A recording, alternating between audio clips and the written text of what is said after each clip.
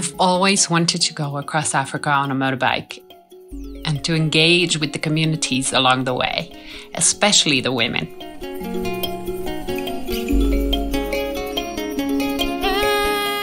This is how Women Who Impact came about. A project dedicated to telling the stories of women who are resilient and resourceful, who remain open hearted, joyful, and generous in the face of adversity. They don't see their team as human capital. They see them as beautiful individuals full of potential that have a right to live meaningful lives, doing work that fulfills them. A woman is a pillar. That element of seeing the spirit in each other mm. makes you arrive and say, I belong. belong. The way we work is largely broken. We have issues like burnout, the great resignation, and quiet quitting. Too many people feel that their work lacks purpose and meaning.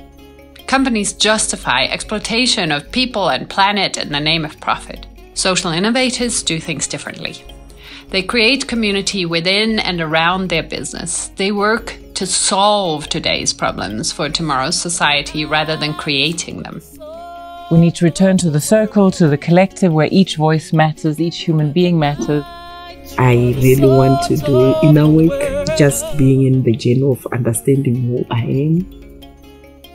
The Women Who Impact docu-series tells the stories of eight women-led social impact initiatives across Africa.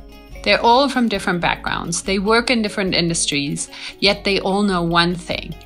If we change the way we work, we change the way we live. Their stories are a powerful reminder that we can all make a difference if we just put our minds to it. Strong, you are bold, confident, and you are brave. You are These women courageously pursue what they believe in.